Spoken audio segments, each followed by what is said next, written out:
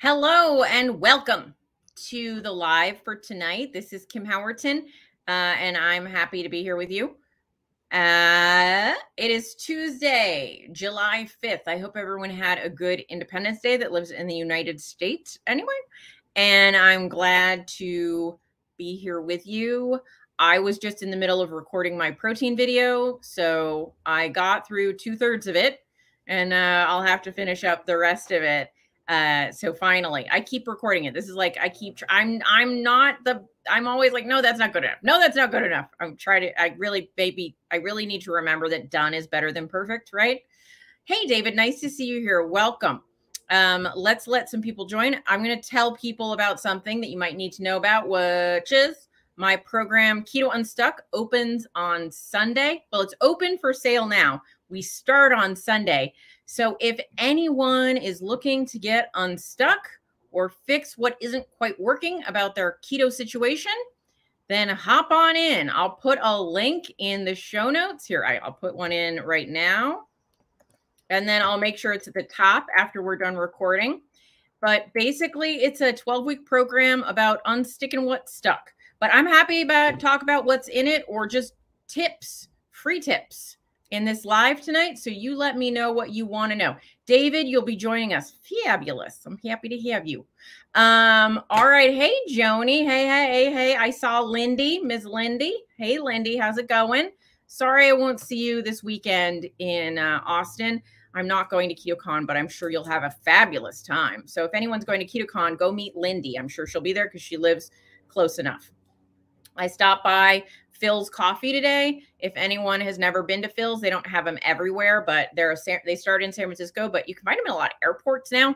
Very good coffee, uh, excellent cold brew, and they ha- always have heavy cream. So for those of you that still put heavy cream in your coffee, they got it.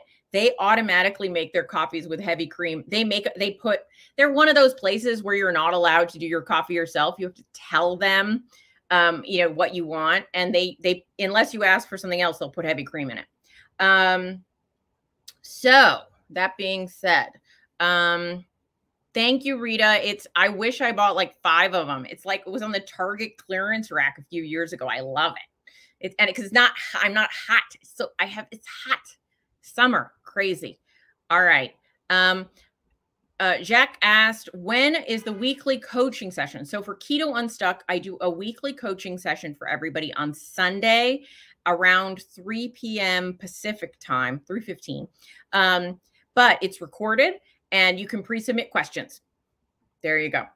Karen says, I added more veggies back into my diet and I started losing weight again. Yeah, I do really well with a higher veg diet. So I as well eat more vegetables. I found when I added in more vegetables, I found it much easier to eat a lower caloric amount.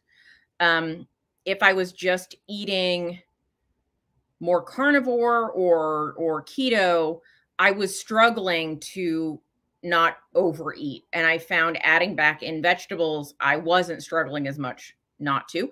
And what's weird though is when I first started keto, that was not true when I first started keto, I found if I ate very many vegetables, I was hungrier. But then eventually I found more vegetables make me less hungry. So we are always a changing dynamic. Um, Brenda asked how to eat more protein. All right, let's talk about it. I actually recorded a couple of videos last weekend. I have like 12,000 videos in my phone that I just haven't edited yet. Um, on some high protein meals because people ask, what are some examples of what you eat? So I can tell you, I always aim to eat between 30 and 60 grams of protein in a meal for me to get the amount of protein in a day that I need because I eat a higher protein approach these days. Um, so, but I think everyone needs to at least eat 30 grams of protein in a meal. Um, and so that means that and by the way, that's at least. People are like, Kim said we should only eat 30 grams. No, at least. Um, so a 30 gram protein meal might be a five pound ground, five pound ground beef burger. Five pound, five ounce. sorry, sorry, people. Five ounce like 90% burger or if the higher the fat percentage the um the the more you'd need to get the protein. So so meat as an example is water fat and protein. So it's those three things. So if you have a piece of meat let's pretend this is meat. Don't eat meat this color. But if this was meat this is like four pounds of meat four pounds. Wow i can't four ounces of meat in this little, you know, it's like a palm size, maybe probably a little more like five, but let's say four ounces of meat here. Um, the more fat it has, the less protein it's going to have because it has a certain weight. And that weight is water, fat, and protein. So if you have less fat, it'll have more protein. If you have more fat, it'll have less protein because it's a limited amount of total substance, right? So if you choose, if you're trying to get enough protein and you choose a higher fat meat, that means you might need more of that meat to get a certain amount of protein. Whereas if you have a leaner meat, it is a higher percentage of protein. So, like, let's say that the green is the fat amount and the blue is the protein is the protein amount. So we can forget the water; it's in there, but um, and so if you have less fat, now you need to add more protein, right? Does that make sense? Hopefully that makes sense. So there's a ratio. And so if you choose leaner protein source, leaner meats, it'll have a higher ratio of protein to fat. If you choose fattier meats, it has a higher ratio of fat to protein. And so you're just you're just trying to find optimal in there. So, but I can tell you, like a five to six ounce burger, which is not that big a burger, it's like a really reasonable burger. Um, and that's raw weight. Um, uh, Larry just asked. Then you've got 30 grams of protein basically in that meal. So that's pretty easy.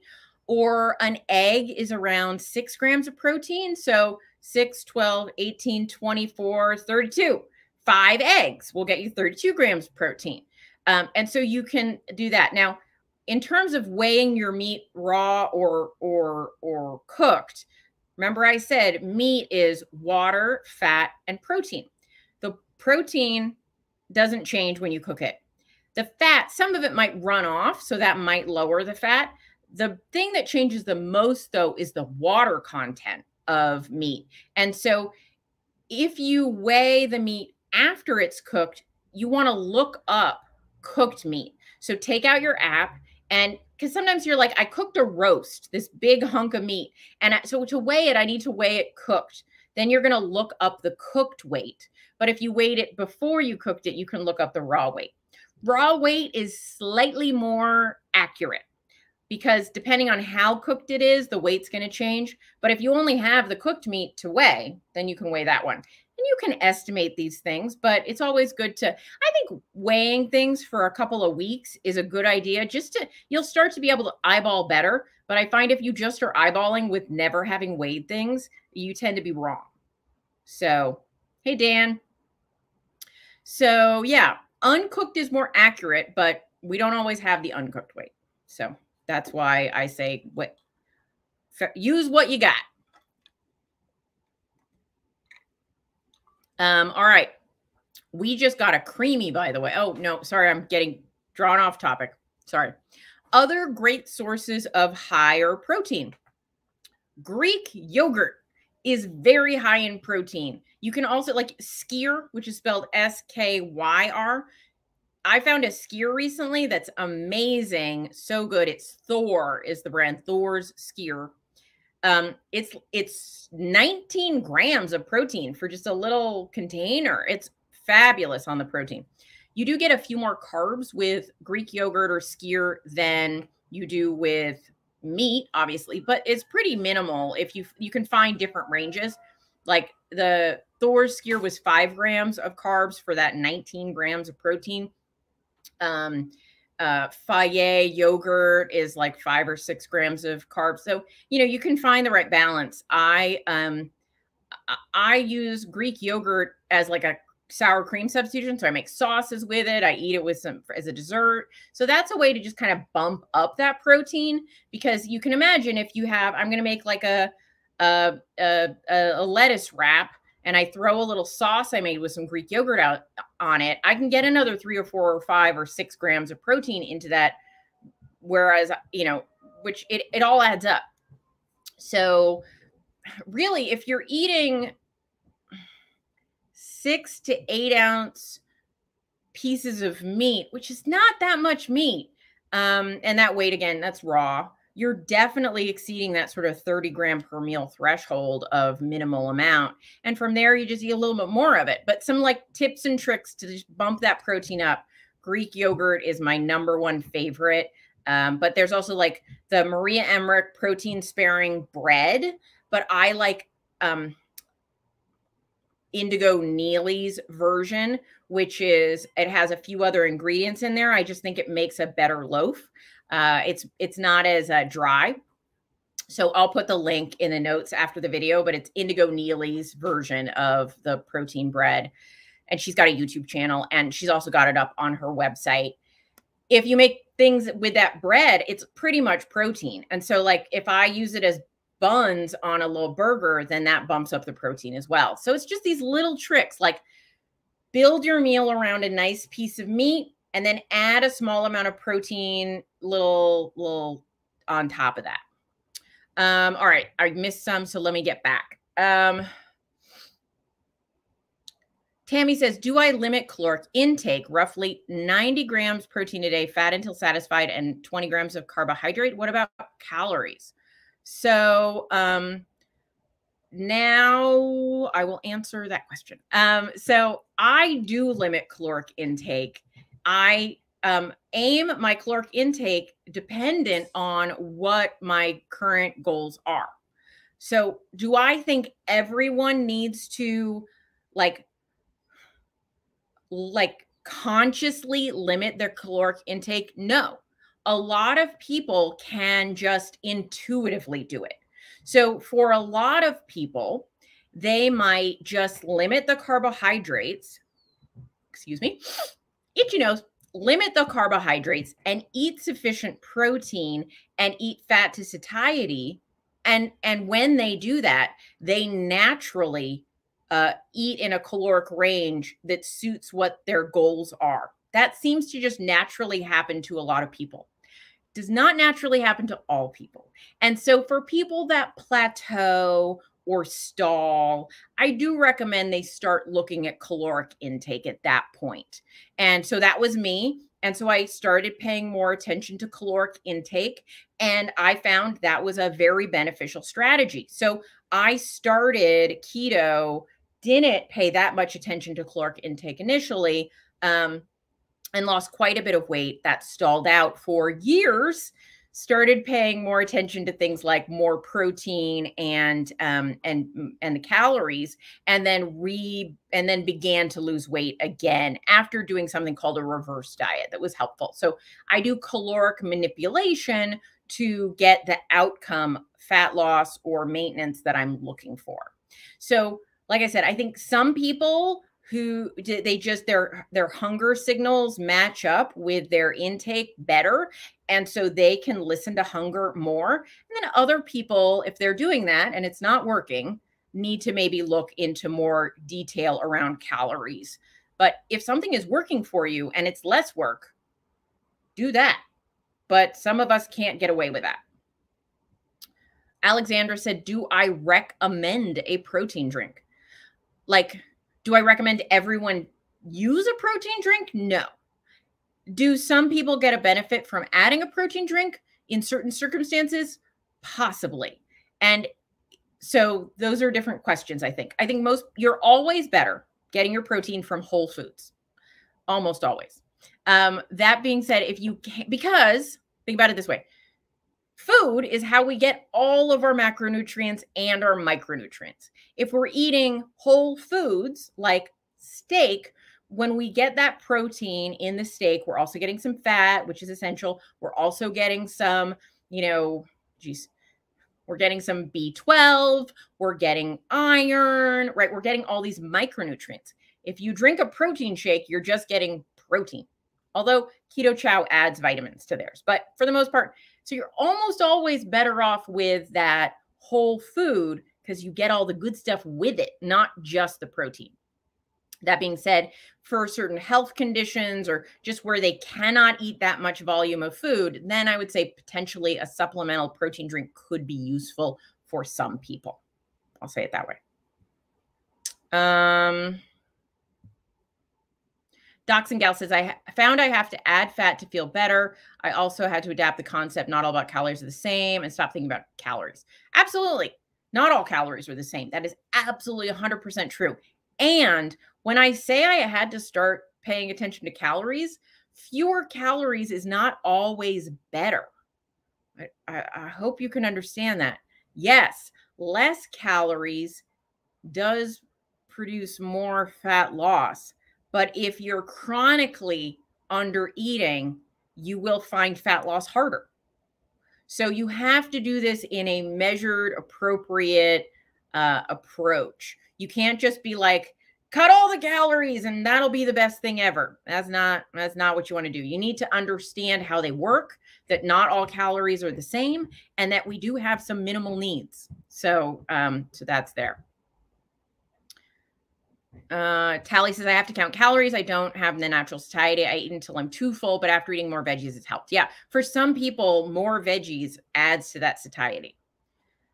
Ashley said, I just got some protein powder for the first time. Would you suggest using it for things like waffles or other foods or putting in your coffee? Um, so, yes, I use protein powders in cooking a lot. Uh, I used to be kind of anti protein powder, by the way, but I've learned and grown. Um, so I don't love drinking my calories it works for some people, but I like more food and I like things that make me for feel more satiated. Um, and so I will pref- preferentially bake with protein powders than use it in a shake. And so I like it. I do it. I do it a lot.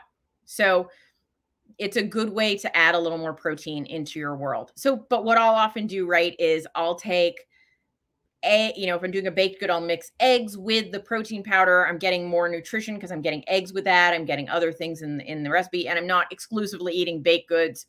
Although some days I would like to. It's my day is not just a solid festival of um, protein chocolate cake. So I, I mix it up, but I think you can safely include some protein powders in your baked goods. Absolutely. Um, I prefer to bake with a combination of whey and casein, which is the two dairy proteins. So that's Keto Chow or PE Science is another brand that has that combo. I find the textures better. Um, Tammy said, hold on, thirsty. What diet reversal? Now, um, I thank good listening. I said it really quickly. Um, what did I say? Um, wow there's like a Swiss cheese hole in my brain. Um, reverse diet. There we go. I was like, diet reversal sounds so close. A reverse diet. So a reverse diet is sort of the opposite of a diet. Uh, we although diet in the sense of weight loss diet. So during a reverse diet, you strategically increase your calories to try and raise your caloric ceiling so that you're getting a higher caloric intake and hopefully pushing up your metabolic rate slightly. It can be useful for a lot of people. Um, and so it's part of what I teach is this nutritional periodization. So periods of doing different things, maintenance for a while, uh, caloric reduction for a while, and maybe some mm, uh, reverse dieting thrown in there. So for me, I took, I think about nine months. It's like somewhere I said a year, but I, when I look at it, it's probably more like six to nine months where I focused on not losing weight. I focused on, you know, maybe a small amount of weight gain was okay and just eating more and pushing that ceiling up and up and up, trying to get to be able to eat as much as possible in terms of my caloric intake without gaining an inordinate amount of body fat. So that was my goal there. And then at the end of that period, went on a cut and from that lost a significant amount of body fat um, which I had been unable to lose prior to doing that. So it was it was helpful from a metabolic standpoint. Terry said I had to focus on calories along with cutting carbs. I didn't need to count calories till I hit 92 pounds down, and now I'm 149 pounds down with meat focused keto. Great job, Terry. I think you've done an amazing job. Uh, Ashley said the best way to get more protein if you have aversions. I'm assuming you mean meat aversions, which do happen, especially in pregnancy. Those those can definitely happen, but they happen beyond that as well. I'm not suggesting you're pregnant. Um, I do not have that mental power to know that, and I know who you are. Uh, so is uh, is that you would um, things like I mentioned earlier. You can do baked goods with protein powders. Um, so like I make I make a chocolate cake with chocolate protein powder. It's delicious in my mind. I make frosting with Greek yogurt and some protein powder mixed in and some cocoa. And I find it very delicious and satisfying. You can do things like shakes. You can do things like eggs, which has a different texture. You can look at different meat textures. Some people are like, I can't chew a steak, but I can do a hamburger. Some people are like, I can do bacon, but I can't do sausage, right? So find what works for you.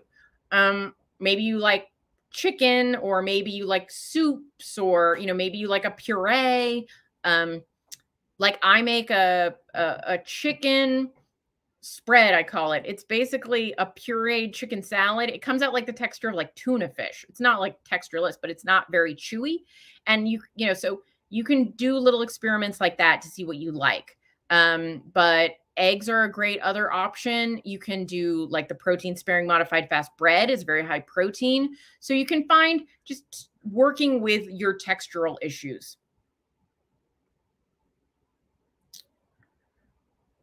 Tammy says, but when you ate more, did you still limit carbohydrate? I did. I did, Tammy. So I during my reverse diet, I was keto. Um, I was probably between maybe 30, 30 maximum 35 grams of total carbohydrates during that period. Um, reverse diet just means more calories. It doesn't mean more uh, carbohydrates necessarily, though some people might view it as such because reverse diets are not specific to uh, keto. People not keto will do reverse dieting as well. It's just referring to energy, more energy calories. So both carbs and fats are energy calories. And so what someone doing reverse diet on keto, this I learned this working with um, keto savage Robert Sikes, who is a keto bodybuilder is you know you keep your protein amount what you need you need your you need protein so you keep that and then you start bumping up the fat intake to get the calories up during that reverse diet period. You have to do it carefully and slowly. If you just suddenly go from eating 900 calories to 1800 calories, you're going to gain a lot of weight. So you have to do it a little bit at a time, a little bit at a time, and just slowly bump it up.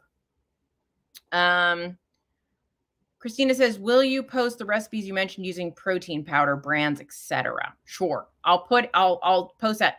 I think I might have done it on my Instagram somewhere, but I do. I'm I am late in putting a lot of recipes up. Up. So I will try and get to that, Christina. You can remind me if I forget. But yeah, the the the chocolate cake, I think I got pretty good. So I'll tell you about that one. Um, David says, once you find your maintenance calories, how many calories would you use for a cut period? Well, if you're in my program, you're going to learn about that, David. But I'll tell you, kind of depends. It's a it's a bit more about percentages than it you know in terms of like if you're because some people are like, hey, my maintenance calories are 1,200 calories. That's very low. Let's say your main some one person's maintenance calories might be 2000 calories. Someone else might be 3000 calories. The amount of calories I might cut for one person is different than the other person. Um, but you can approximately I would say on average a lot of people do well reducing between 250 and 500 calories a day from their maintenance intake to see some degree of progress in terms of weight loss. Um, again, though, that's going to be if you're on a ketogenic diet, that's mostly coming from fat. Rather, you don't want to reduce protein unless the protein was really wiggy to begin with, because you need protein for your structure, your body's structural elements. Protein actually becomes a, a, a macronutrient you need in a higher ratio um, during a fat loss phase because we need to maintain as much lean body mass as possible as we're losing weight. And the two things that help us retain lean body mass in a deficit are resistance training and proper protein. So I look at it like, you know, a relationship. If you don't tell your partner that they are needed, they'll leave you, right? You have to show them, well, not tell them, but show them that they're needed. Um, not in a weird way, but in a loving way. And your muscle is the same. If you don't show it that you need it by using it, it's going to leave. So you need to use it in some form of resistance training. All right. Talking makes me thirsty. So through my reverse, I was still keto. My carbs were very low. At the end of my reverse, when I went into my cut, so a cut is a period of time when you're trying to lose body fat. Um, when I went into my cut, I actually strategically upped my carbohydrates at that point as an experiment to see what happened. And that's how I transitioned from being purely keto to more of what I would call a high protein, low carb, because I found at that time, at which time I was already metabolically healthy, I'd improved my metabolic health through my keto journey. And so by the time I needed to lose that last bit of weight, I was like, oh, I am metabolically healthy. Let's see what I can do on a more slightly higher carb intake. So I don't eat, I mean, not regularly. I don't regularly eat carby carbs.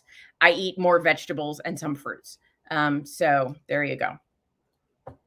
Um, and that was because I was experimenting and I found it, it suited me. And so I think sort of there's a lot of options on that low carb spectrum, depending on where you stand in terms of where you are with your insulin resistance level.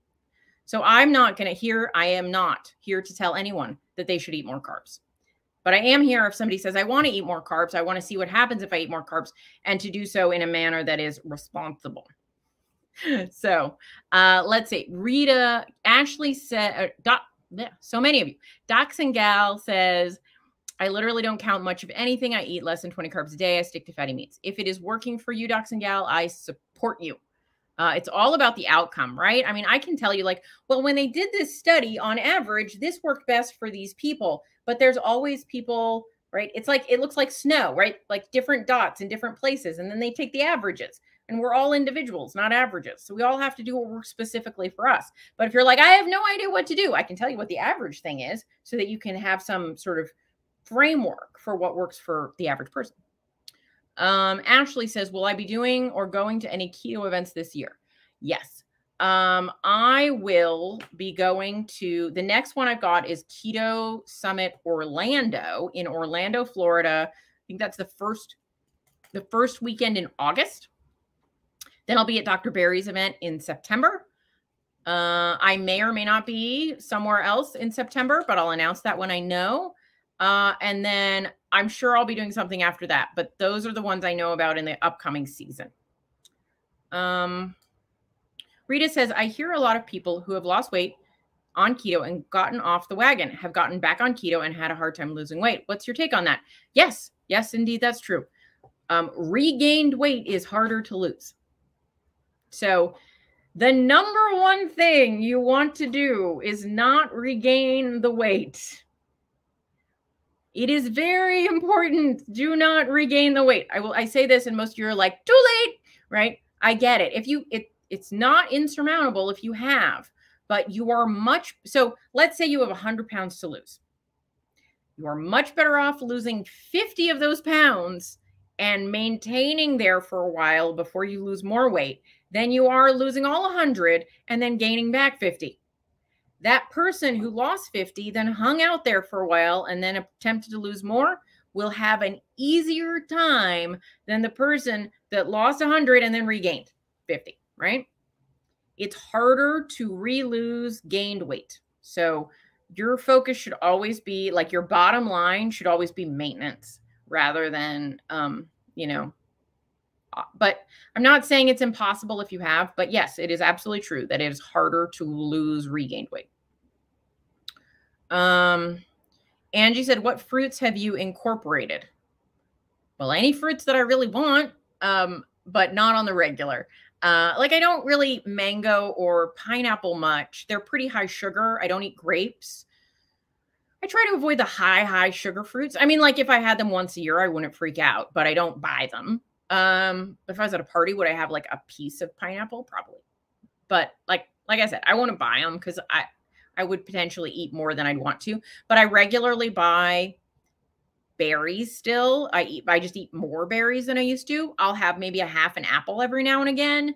Um what else? When it's cherry season, I eat a couple cherries because I love cherries. It's not cherry season all the time. So I'll eat cherries. Oh, I love nectarines. And so while it's nectarine season, I'll eat a nectarine. Um, so I go with like what's delicious and seasonal. Um, and then other than that, it might be a half an apple, some berries, things like that. My total carbs are usually under about 50 to 60 a day. They're not really high. Uh, some of you who are doing net carbs, your carbs might be fairly similar. Um, Andrea says, "What? How can you tell when you're no longer insulin resistant?" So there are a couple of things. The so here's the the the the main metabolic health issues. So we've got um, these things correlate with insulin resistance or metabolic syndrome. Um, you want your waist measurement to be less than half your height in inches or whatever centimeters whatever so if i'm if I am, uh, how tall am I? If I'm 69 inches, which is five foot nine, right? 60 inches, five feet, yeah. Then my waist, I don't want any more than 34.5 because that's half, right? 34.5 is half of 69. Yes, math. Um, so that's one marker right? You want your waist to be less than half your height. And that's your waist waist. So up at the top of your hip bones. Uh, some people will say it's at your belly button, but any of us who've been very overweight or pregnant, your skin stretches out and then your belly button is lower. So my belly button is somewhere around my lower hips right now. And so that's not your waist. So um, if you've always been thin, or maybe you're a man who didn't ever have a gut, your belly button might be a good gauge. But in women or people who've had a large belly at some point in their life, go with the natural waist. So that should be no more than half your height. So that's one. Number two, your uh, blood sugar, your your A1C should be lower than 5.4. Your um, fasting glucose should be under 100. Your um, blood pressure should be over under 120 over 80. Your um, I'm trying to remember. Your HDL should be over 50 as a woman and 40 as a man. I think these I'm trying to remember these off the top of my head. Um, blood blood pressure, waist. Oh, your triglycerides should be under, well, they say 150. I say under, under 100.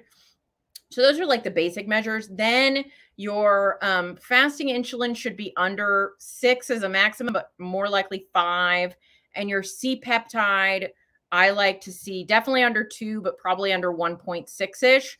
Um, all those things together would paint the picture that you're pretty metabolically healthy. Um, Christina said, I lost weight on keto, maintained for a few years, then gained back almost all to where I started. Tips on what to do and what to eat when restarting. So, the first thing I would say, Christina, is just um, start eliminating all processed foods from your diet. So, you want to, st- and I don't mean like sausage, I mean, obviously, like breads and crackers and cookies and that kind of thing. Um, and just work on getting the carb level down. You can do it gradually if that appeals to you, or you could do it more quickly, but get the carb level down, eat foods that are high in fat and protein to um to uh, be satiating. So focus on things like bacon and eggs and steak and chicken and all that kind of good stuff. And just focus on kind of changing your food landscape for a while. And once you've eliminated a lot of the junk food and a lot of the higher carb foods, the higher processed foods, you'll probably find it easier to kind of continue on the path. So I would say just take that step by step approach. Docs and Gal, your advice is needed as people move through life and body changes and stalls. I was feeling bad after being keto for a long period. Being ketovorous helped. Yeah, absolutely. Change it up. Do what works for you. I am not against any approach that works for somebody at all. Uh, Jack says, "Is low carb cruise a possibility?" Oh yeah, I'm going to be speaking. I, this is kind of far away. It's like a year away, um, but I should be on the low carb cruise. I was actually supposed to be on the cruise this year, but I got sick. So I'll be there next year. They just transferred my uh, my my ticket over, so I should be there next year. Tammy says, I thought I was getting there with metabolic health, but apparently not. You know, it's a step at a time. It's a step at a time. I do find the waist thing is the last one to fall into place for most people. Now, there are some people who can't get there, like on HDL or something like that, because specifically HDL, can, there can be people that have some genetic issues that lowers their HDL. So that one is more one I'd be like, you know, do your best. And I'm not gonna, I'm not gonna keep you out of the club just because of that one. But you kind of those are those are the factors that that medicine has sort of said, you know, connote whether or not you have a good level of metabolic health. Cheryl says, I'm doing 30 to 40 carbs per day, protein about 87 grams, sometimes over, fat around 60 to 80. I eat 12 to 1300 calories. I weigh 129, losing very slowly. Body composition, I assume that says hasn't changed, still belly fat. Um, if I eat too much fat, I gain. Cheryl, are you very small? 129 pounds is kind of low. So I'm going to guess you're of short stature. Um, Tammy says A1C 5.1 LDL fine, but that waist thing. I know it was the last one for me. It's the last one for me, Tammy, and I like literally just made it there like in the last 10 pounds. So it took a while. Um, Christi- Christina says low carb cruise. Share more about this. Okay. So this lovely woman named uh, Debbie Hubbs puts on the low carb cruise. I think it's lowcarbcruise.com is probably I'll put a link in here. Um but if you just Google low carb cruise and then Debbie Hubbs should be involved. Um, and it's an annual cruise where we don't have the whole ship. It's just um, a group of us on a bigger ship. So it's not like you're like yeah, when you go to the buffet, it's not like only keto choices, right? But there's a group of people who are low carb and keto who do a, a, a cruise together, and it's a conference slash cruise. So on the days they're at sea, there are talks by people like me um, or Nurse Cindy, and um, we do a talk on a topic, and then the rest of the time, you know, when we're we go to shore excursions and we do dinner together like we all sit in the same area. They they arrange that for us. And debbie handles all the details. She's a travel agent. And so it's a it's a week. Uh, i think the next one is in june. And it goes to like honduras and warm places. And um and it's you know it's a good time. So if you want to do a cruise and you like cruising you can look up the low carb cruise and get get connected to that. But it's it's a fun time. Um Cheryl says, Yes, I have belly fat. Yeah, I carry my fat in my belly too. So it took a while to get there. And I still have some belly fat. Certainly could use to lose a little more. It's all relative. Um, and so uh, Alexander says, Do you fast? I realize fasting and keto can reset my body. I don't fast. I mean, I do and I don't. I do um I do intermittent fasting or time restricted eating, but just mostly for other reasons beyond fasting. One of which is I think not eating before bed is very helpful for sleep. So I don't eat late at night. And then I'm not super hungry first thing in the morning. And I usually have some stuff to take care of. So I don't eat super early and I don't eat super late, which means I eat in a time restricted window. But if I woke up starving, I would eat. And if suddenly before bed I was starving, I would eat. I don't I don't hold that, you know, sacrosanct. I um I, uh, but I generally probably eat in between an eight and a nine hour window, depending on the day. And I, I but I'm not like timing it. Um, and I do think fasting can be beneficial for a lot of people. Um, I think I do, I certainly agree with eating discrete meals and not eating between meals. I'm very anti snacking for a lot of reasons. I think we need opportunities for our gut to digest rather than to constantly be challenged. Um, but I um, also am somebody who came to keto with um, a history of binge eating disorder. And I find for a lot of people um, who had binge eating disorder, they find longer fasts too triggering. And so I don't support them for people that don't want to do them. Say it that way. So if you're like, I love fasting and I want to fast, I think great and I support people who want to do that. I also don't think they're necessary for everybody. So if they freak you if you're like, I do not want to do it, it does not sound appealing to me, then you do not have to do them. I think it worked differently for different people. Uh, um, so Cheryl said, yeah, okay.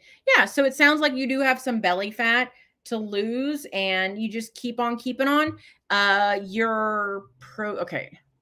By the way, I'm just somebody talking on the internet. Please don't take anything I, I say as medical advice. I am unqualified to give any medical advice because I am not a medical professional. So just saying that just across the board.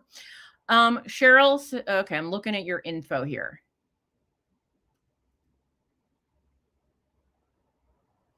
So your protein is like minimally appropriate. I certainly wouldn't eat less if you were my client. Um, and your fat gram, I mean, your your caloric intake is low. I would say you might be a candidate for a careful approach to a reverse diet. Also, if you're not doing resistance training, you should be doing resistance training.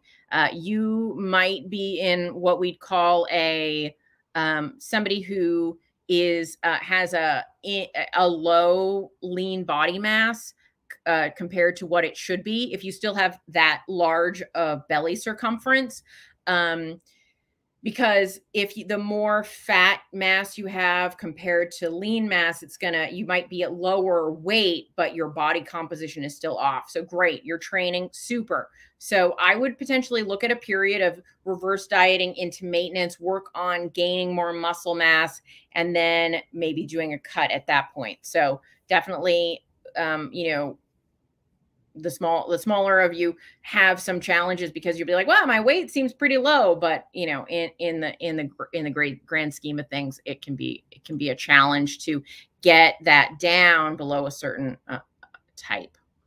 Um skinny legs. Got it cheryl. Yeah i would say yeah working on muscle mass um, and then maybe a period of reverse dieting might be beneficial because when we're in too deep a deficit, when we're eating too low a calorie, even if we work out a lot, we're not going to add muscle mass, right? Because you need enough calories to support your body adding muscle mass. So if you're eating in two there there was a study that was done and they found, you know, by the time you get down to like a 500 calorie deficit below, you know, what your maintenance should be, in a person that's not obese, which you're not, you're just in the overweight category, um, I believe. Uh, those people will struggle quite a bit to put on any muscle mass. It, it's sort of it, it's it's graduated. So if you're in a slight deficit, you can put on a little more, but by the time you get very low, you're just not going to see that muscle mass increase. So you might want to look at a period of reverse dieting with increased um, resistance training to try and add a little more muscle mass, and then go into another cut to lose that kind of last uh, 10, 15 pounds or so. Um, yeah, and that'll help. More exercise, uh, more muscle mass will definitely help with the insulin resistance. Increasing muscle mass can absolutely help with that. Um, Jack says, if I recall, uh, it's June for the low carb cruise is June 4th through 11th out of Galveston, Texas. Yes, goes to Mexico and Honduras. Yes, that sounds right. Tammy says, exercise is like a bad four letter word. I used to feel that way, Tammy, but maybe don't think about it as exercise uh, think about it as moving your body. So, um, or doing things you like, picking up heavy things and putting them down, right? Like, I don't like exercise, but I do like um, certain activities, right? I like, uh, and I do like lifting weights occasionally. So, uh, finding things that you enjoy. Maybe you don't like the Stairmaster because only psychopaths like the Stairmaster. Um, uh, but I do like dancing, right? And so there are things that you can do that you like. And I think if you're, it's, it's always about better than before. It doesn't have to be about perfection. Like, okay, real talk. I saw like a influencer the other day, you know, on one of the YouTube people. I will not name names, but they did a video on like, is evening exercise or morning exercise better? And I was like, dude, I think most people watching your channel don't exercise at all. So perhaps a discussion of is morning or evening better is just sort of covering up the underlying, just do something, right? Like do something. Uh, so something is better than nothing. Don't perseverate. Don't worry on the details. Just do more than yesterday, right? And so it's not like exercise. It's not like you have to wear the headband and the lycra and the whatever, right? You don't have to look like Jane Fonda in, the, in jazzercise, right? Just go for more steps. Do more walking. Uh, go for an after a uh, 10 minute walk after every meal. Walk around the block. Enjoy the evening, right? Those are better than nothing. So do more, not do all, is the answer in my mind. Larry says, talk more about Keto Unstuck. Okay, I did not pay Larry to say that. Um, how long is the program cost? Details. Okay, it is 12 weeks. It, it starts on the 10th, which is Sunday. And it's 12 weeks in which we look at um, what's not working. Is it more of an issue of um, compliance? Like, are you struggling to not eat off plan? Or is it like, I think I'm doing everything right, but it's not working? We work with both types of people. Then we've got like, okay, well, if it's if it's supposed to be working, but it's not, what are you doing? Let's analyze it. Let's pull it apart. Let's look at calories. Let's look at macronutrients. Let's look at activity. Let's look at all those things. What is happening that's making it not work? And then how do we fix that? So we work through all of that during the program. If it's more of a I can't stay on track issue, then what we look at there is how do we get your habits uh, and and mindset aligned properly to get you back on track and to make you stay on track. And so those are the different kind of types of people that and their approaches that join. And then from there, the details would be we have a Sunday call every Sunday of those 12 weeks. It's all on a group basis, but I'll work with people individual. This is confusing. Everything is done in the group but I will give individual advice within that group, Larry. So sometimes we'll email, but mostly it's it's um it's it's group, but it's not all just one direction. Like somebody will ask me a question i will respond to their question with individualized information if that makes sense. But the coaching is a group coaching call rather than a one-on-one coaching call. And so we have that 12 weeks of coaching. If you can't make the sunday call i accept questions in advance um, and then I talk about the answer on the call, and they're all recorded so you can watch them. And then there are also lessons all through the program talking about macronutrients, calories, what should I worry about? What about activity? What about body fat? What about body composition? What about, you know, this? What about that? So going through all those frequently asked questions that my clients have had over the years to take care of those needs. So it is 297 for the entire 12 week program. You can pay monthly if you need to. It's 107 a month uh, if you break it up. There's it's a little bit more if you break it up because there's some service charge on that. Um, and that's the program and most people are very happy. And if anyone ever chooses to retake it, because I do have some people that are like, ah, I need a touch up. Can I come back in? I always give them a big discount to come back in. So if you, and then I also have a, a monthly membership. So if someone at the end of the program is like, I want to check in with you every once in a while, they can just hop into the very inexpensive monthly membership from there. So they have continued access to me. So you get all of that. You also get some recipe books. You get how to create your own meal plan, you know, all that kind of stuff. Because I'm very much about teach a man to fish instead of give him a fish. So I don't give meal plans. I teach how to do meal plans because I have people who never figured out how to eat because they only use meal plans. So I want you to figure out how to eat that works for you on an ongoing basis. And so what I teach in this program is not about these are the 12 weeks in which you're going to lose weight. I teach these are this is the information you need for the rest of your life to lose weight because it's not all going to happen instantaneously for everybody, but how do you set that up? So that's what I teach.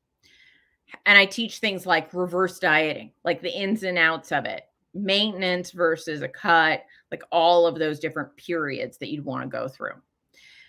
Heather says, How do you know when you've reached your ideal weight? I'm five foot two, big boned, um, DEXA scan, 50% fat.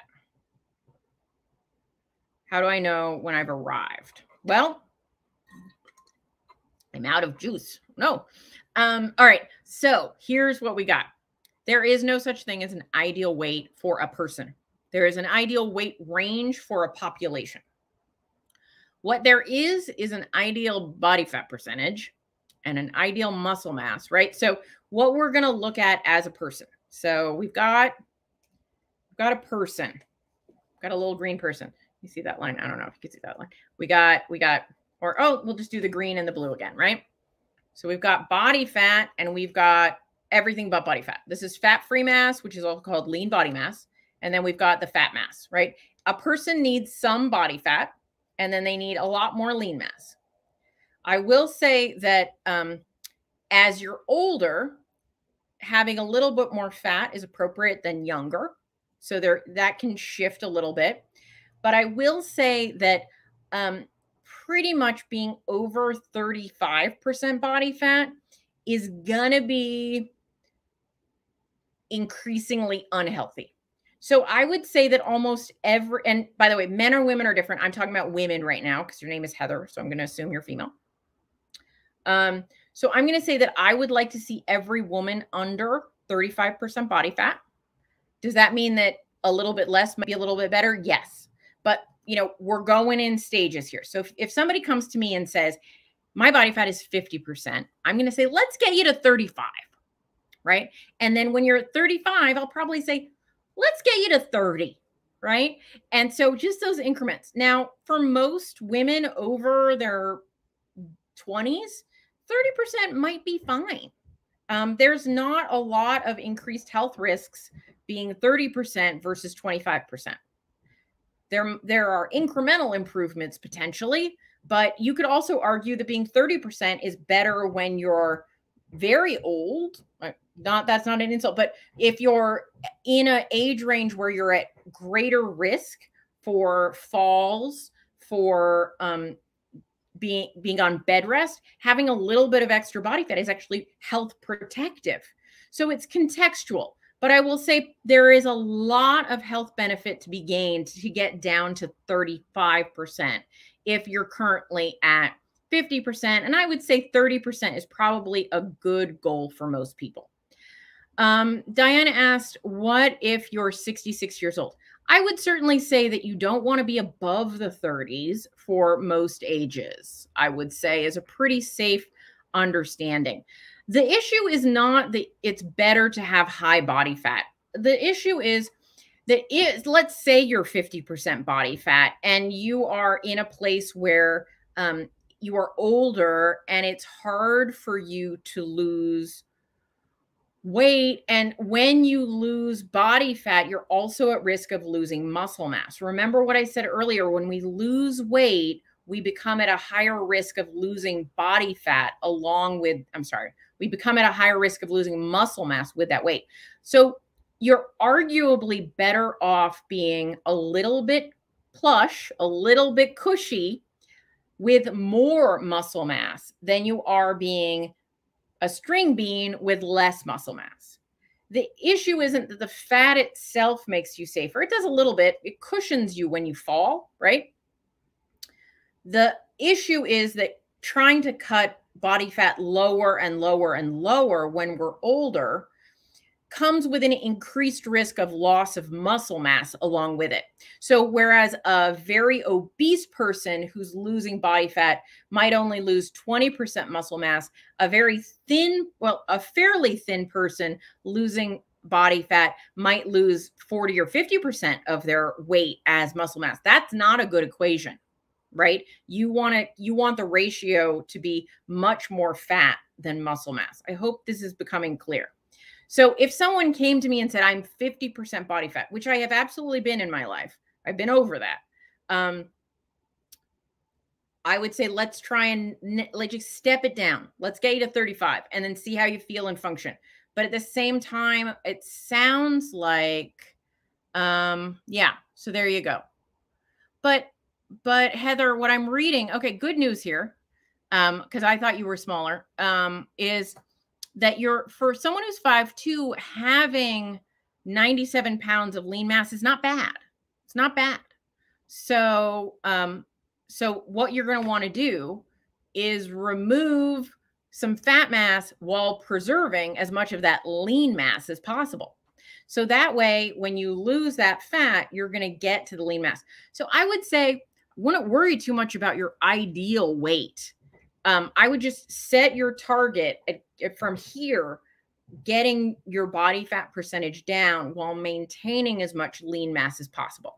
So I would just set incremental goals along the way.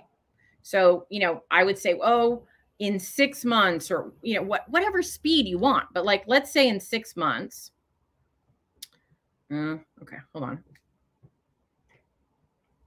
Let's say in six months. So let's say you do some resistance training along the way just so my math is easier. And you add three pounds of muscle. So now you've got a hundred pounds of muscle.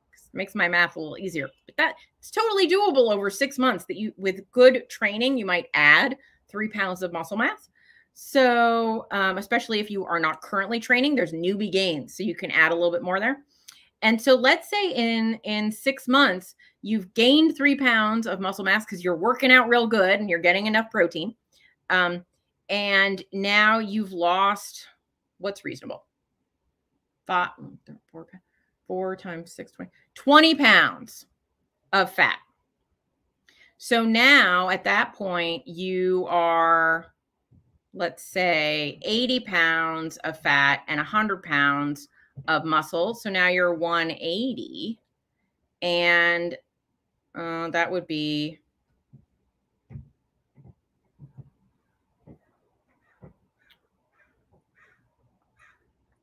So now you're like 40% body fat, right? So it's it's an improvement. And so you're just chunking it down. I didn't use a calculator on that, but somewhere in that range, okay? So you're just going to start to chunk that down. I, don't think you I don't I honestly don't think anyone ever needs to worry, should I be 125 pounds or 127 pounds? As you get there, you'll know. So just pick a neighborhood. Aim for that neighborhood. Head to the neighborhood. You don't have to land on the right millimeter of sidewalk. Just just aim for the neighborhood. All right. Um, Cheryl said, "Is it good to get a DEXA scan to find out fat and muscle mass?" I find it can be helpful. Um, you can also use measurements to approximate. So if there's a DEXA scan available to you that includes your muscle mass, some DEXA scans just do um, bone density. So make sure they do uh, body composition if it's a good starting place to do some calculations from. Some people get very depressed when they find out what their body fat percentage is. And if that's going to negatively impact you, then I would skip it because you know what direction you need to head in, right? Head there. Heather said, I meant more like my body's ideal weight, which, oh, okay. Yeah. Um, so there are like ideal body weight charts. Um, and they're a range. And I think that's true of everybody. And I think if you have a lot of weight to lose, you can just pick a number that sounds good to you. Like when I was very, very heavy, I would have said like 190. If I hit 190, I'm going to be so happy because I'd been over 200 pounds since college. And I'd be like, 190 sounds so good. And then I hit 190 and I was like, mm, more. I would like more, but certainly I wasn't like, oh, I've gone in the wrong direction. It's just headed in that direction. So it's a hard question to answer because I think conceptually I look at it a certain way. Um, so it's hard to answer. I don't think anyone has a specific ideal number. It's about their body composition lining up with a number. And so, you know, that's going to depend where you get. Doxson says, How do we know what's a good amount of muscle mass? I mean, it's just kind of you kind of have to there are averages i would say um and there are ranges uh so you kind of look at it that way. I would say there's more it, it's very very challenging um to to give an exact number but it's more a feeling i know like ah yeah that's decent or wow that's really low um and and it can be a range because some people are more muscular than others some people put on muscle easier than others it's not an exact amount. I would certainly say that i don't have a calculation but you can look up you know what is appropriate. It's nobody has a perfect answer on what's a good amount of muscle mass but i would say um i mean the way you can kind of look at it is uh knowing what your Like what weight range you're in and and then looking at your fat mass. And if you're like wow I feel like this should be a good weight but I'm still more body fat than I need to be then you might have low muscle mass cuz you only have fat and lean right? And so if you're if your if your total weight which is the combination of your fat and your lean seems appropriate but yet you still seem pretty high body fat well then your muscle mass is a little low. It's just a ratio Joy says my face is looking slimmer. Thank you. Uh, my my cheekbones are coming out more. It makes me happy. Um, Docs and Gal says Renpho scale matches DEXA scan. Not for me. Um, the scales are just not. I mean, they're they're they seem accurate for some people. They're very inaccurate for other people. Uh, I don't trust the scales, but they're consistent. So, you know, if it works for you, fabulous. But I would say body measurements are more accurate than any of the home scales. Um, but you can you certainly can use them. Like my scale, which said it was very accurate, says I have less body fat than my athletic boyfriend, which is ridiculous. He has like a third the body fat I have. So or more, less, something. He's very low body fat compared to me. So that's wrong. Um, and so the scales, no, not so accurate. Um, but if you but sometimes they they match up, like you're like, look, my DEXA said this and my scale said that. Great. They work better for some people than others. Um, I wouldn't count on them too much. But I will say, like, you can use them as a consistent. If it's like, if it seems right now, it's going to probably be right in an ongoing basis. They're very sensitive to things like hydration level, though. So if you had a lot of water or a little water, that's going to throw the results. That'll also throw a DEXA scan result, though. All right, I've blathered on enough. We've come to the end of the hour. I hope that you're all doing awesome, and I will see you next week. Um, so if you want to join me for Keto Unstuck, there is a link in the comments, but I'll also make sure it's at the top for the replay. I would love to have you. And hey, I understand that right now is a really tough time for a lot of people financially. There's this recession thing and it's very scary. And if you're somebody who says, like, I would really like to do this program and I'm in a terrible pinch right now, just please message me. I will see what I can do to make it work for you. Okay. I, I can't promise anything, but I'll do my very best because I don't want to leave anybody without the help they need. So uh, feel free to message me if you need to make some special arrangement. I will see what I can do. All right. Hopefully that helps. If you can afford it, great. Please pay for the program. It's how I can stay in business. but if you if you really can't, please don't feel like you can't come and talk to me and, and we can maybe work something out. Okay. All right. Bye, guys.